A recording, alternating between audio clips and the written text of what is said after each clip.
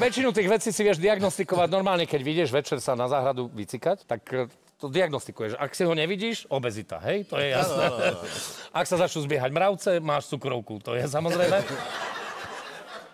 Ak ti trpne zápestie počas toho artritída, hej? Ak máš erekciu ani si nechcel, tak to je jasný Parkinson. To je jasné.